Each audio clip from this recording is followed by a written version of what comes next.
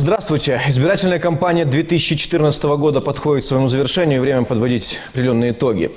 Что обращает на себя внимание, это то, что несмотря на то, что страна в этом году вроде как вышла на новый демократический путь развития, мы видим все старые, прежние, э, черные технологии использования очернения кандидатов и использования черного пиара. Мы сегодня говорим с фаворитом избирательной гонки в Приморском районе Сергеем Киваловым о результатах этой избирательной кампании 2014 года. И, Сергей Васильевич, вот по итогам этого процесса, что бы вы могли сказать? А, черные технологии использовались против вас, а, очернение вашей кандидатуры использовалось сплошь и рядом со стороны ваших кандидатов. А как вы оцениваете их действия и, собственно, почему это происходило? Как вы думаете, как я могу оценивать черные технологии? Конечно, это мерзко. Никогда такого еще не было. В 98 году, когда я впервые шел на выборы в Верховную Раду, тогда тоже админ-ресурс откровенно работал против меня. Но все равно одесситы тогда оказали доверие именно мне. А сегодня я вспоминаю, когда же еще было такое, во всяком случае не помню. Не помню, потому что весь админ-ресурс сегодня работает против меня. Сегодня милиции из Киева дают конкретные команды найти хоть что-то против Кивалова. Знаете, я думаю, что после 26-го выборы закончатся. И жизнь будет продолжаться. Но наши приезжие, которые приезжают сюда на несколько дней, им вообще не интересно мнение одесситов, они, как правило, собираются после этого, уезжают с нашего края. Я думаю, что одесситы – это тот народ, который знает, кто что сделал. Одесситы знают, как оценить того или иного кандидата. И я уверен, что вот именно черными технологиями их не обманешь. Потому что они сегодня рвутся в Одессу. Потому что они знают, что после Киева единственный сильный, мощный регион остался это Одесский здесь порты, здесь схлестнулись финансовые потоки. И для того, чтобы завоевать этот регион, они тратят десятки миллионов. Я подчеркиваю, десятки миллионов гривен, долларов. И посмотрите, кто рвется сегодня в депутаты. Один, который вообще не имеет никакого образования, начально, и то, наверное, в коридорах ходил. Другой просто болтун и крышует э, наркобизнес. И для него только одно, чтобы пройти в Верховную Раду, чтобы и там заболтать все. Третий, еще недавно, находясь в земельной комиссии, делал все для того, чтобы украть у одесситов землю. И они еще говорят, что могут что-то сделать, да будучи депутатом городского совета, ни разу не выступить, ни разу не сказать и не дать никакие предложения. И сегодня говорит, я пойду в депутаты. Я сегодня буду заниматься децентрализацией. Он это слово, наверное, заучивал целую неделю и потом на плакате их написал, эти слова. Если вы у него спросите, что это такое, он даже не представляет, что это такое. В них вкладывают огромные миллионы, вкладывают, чтобы только они прошли. Для того, чтобы потом отбить те 50 миллионов, которые вроде бы якобы государство им задолжало. А как он будет отбивать? Никто ему не отдаст их. И поэтому все идет к тому, чтобы не допустить Кивалова к выборам. Но я знаю, как ко мне относятся одесситы. Избирать сегодня тех временщиков, который сегодня приехал, завтра взял чемодан и уехал, у которых семьи находятся за рубежом, и жены, и дети, и внуки находятся там, они имеют особняки. Им что, интересно то, что происходит в Одессе. Они будут когда-то реализовывать или предлагать какую-то социальную программу для одесситов. Да им наплевать то, что происходит в нашем городе. Им наплевать то, что сегодня творится в нашем обществе. Они просто временно и не скрывают это, цинично не скрывают это. Знаете что, я независимый, у меня даже квартиры нет. Меня ничего не связывает с Одессой. Собрался, уехал. Вот такие люди пытаются прийти во власть. Логически возникает вопрос, для чего они идут во власть? Ну, для того, чтобы деребанить, для того, чтобы деребанить землю, для того, чтобы деребанить порты, для того, чтобы укрепиться здесь, собрать, обмануть людей и потом уехать. Мы проходили это. Одесситы – мудрый народ, они знают, и те, кто вырос в этом городе, те, кто проявил себя, Тот, кто что-то сделал, ну, наверное, они и дадут соответствующую оценку. Я глубоко убежден, что такие лжепатриоты, которые сегодня пиарятся на патриотизме, и те кандидаты, которые сегодня рвутся к власти, за свою жизнь не построили даже собачьей будки. А если и строит какой-то скелет, то он не может довести до конца и не рассчитал свои силы.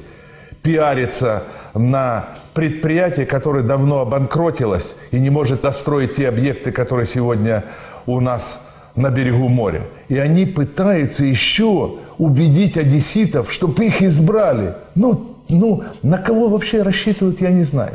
Одесса, она ну, воспринимает тех, кто что-то делает, кто любит Одессу, что, кто любит сердцем, а не тот, кто приехал, ухватил, украл и убежал сразу за рубеж. Но они привыкли действовать радикально, с другой стороны. Вот э, анализируя недавние заявления ваших оппонентов, в том числе и бывших, они заявляли о том, что физически вам в том числе не дадут попасть в Верховную Раду. Мало того, будут судиться, несмотря на то, что даже если вы выиграете с огромным отрывом, а, что вполне вероятно. А, что вы им ответите на это? Какие вы намерены действия предпринимать для того, чтобы дестабилизация в Одессе не произошло? Вы знаете, я никого не боюсь. Я на протяжении многих лет уже прошел определенную школу.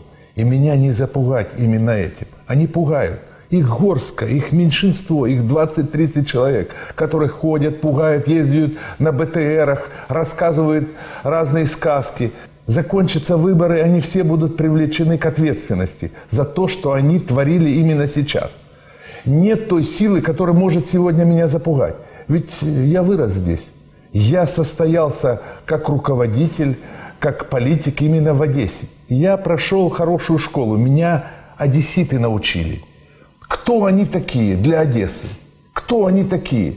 Чистые жулики и мошенники, которые с экранов телевизора обещают все, что угодно, лишь бы его избрали. Вылезли на, войне, на волне Майдана и, собственно, Знаете, до этого никто это, и не видел. Да. Если это патриоты, пусть бы поехали туда, на восток, и показали свой патриотизм. А они боятся, они боятся выехать с этого города. Они боятся одесситов. Ведь, вы понимаете, он сначала регистрируется как кандидат, а потом снимается. И говорит, вы знаете, ну я вот снимаю в такую-то, такую-то пользу. Ну что это? Это что, детский сад какой-то? Ты, если пошел в парламент, ты, пожалуйста, доводи это все до конца.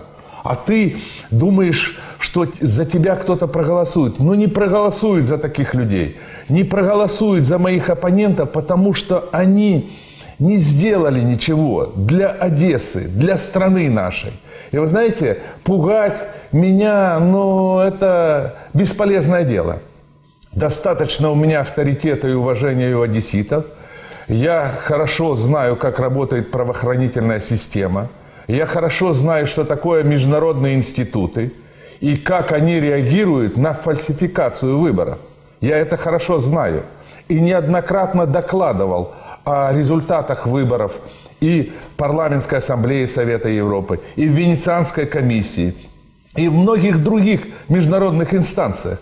Поэтому рассказывать, что мы будем судиться, даже если одесситы изберут меня народным депутатом. Кто они такие? Они не знают, что такое вообще право. Они не знают, что такое государство. Они знают, что сесть на БТР и приехать и попугать. Люди уже не боятся тоже. И все здоровые силы сегодня направлены на то, чтобы был в городе мир и спокойствие. Все здоровые силы направлены, чтобы в нашем регионе процветала экономика. В нашем регионе должна быть стабильность. И мы это сделаем. Самое главное, мы знаем, как это сделать. И пытались меня пугать. И по вопросам, когда я поднимаю вопросы, связанные там, со 2 маем, той трагедия, которая произошла, ну пугают, каждый день пугают. Или пугают той статьей, которую я написал, и когда четко описал и сказал, что может произойти, если не предпринять те или иные шаги. Но я же не отказываюсь от этой статьи. Я не построил ни одного казино, я не построил ни одного ресторана. Я не построил никаких жилых комплексов, где бы мог бы получить миллионы. И одесситы это знают.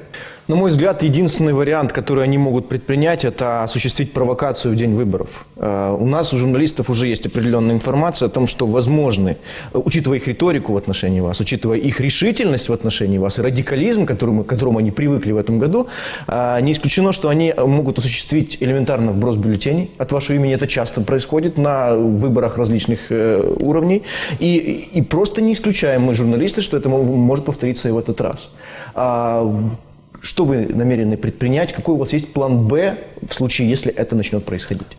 Вы знаете, у нас очень жесткие санкции в Уголовном кодексе предусмотрены за фальсификацию выборов. Если они хотят пойти на 8 лет в тюрьму, то пусть попробуют это сделать. Сегодня не то время, когда можно беспредельничать и делать все то, что они хотят. Сегодня Украина выбрала свой путь, путь европейский, и мы проголосовали именно за путь развития нашего государства.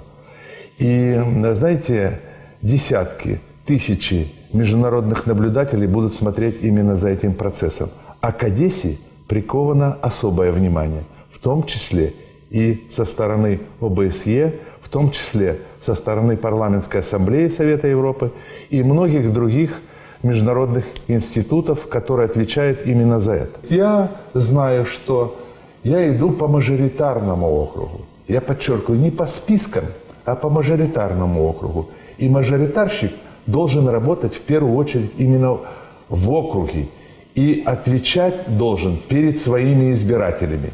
Не в Киеве отвечать перед чиновниками, а перед своими избирателями. И все, что мы делаем, это делаем для блага нашего города, для блага нашей страны. А особенно то, что касается вот этих социальных проектов, о которых мы с вами уже неоднократно говорили. И в дальнейшем буду то же самое делать. И один из первых законопроектов, который буду поддерживать и разработаю, это закон о лишении депутатской неприкосновенности. И не все могут работать там. А когда не будет депутатской неприкосновенности, тогда все станет на свои места. Вот когда я берусь за какой-то законопроект, я его всегда довожу до конца. Выдержки вам и терпения. Спасибо. Спасибо.